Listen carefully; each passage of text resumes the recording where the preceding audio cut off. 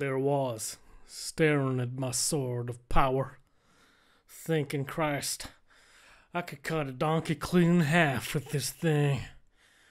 No, two donkeys. I could cut them clean in half with this glowing sword. And then I thought, how did I even get this fucking sword? I'm here, I'm standing here, I'm shaking. I can't believe I got this sword right now. I mean, goddamn. Five minutes ago, I was ordering a Domino's.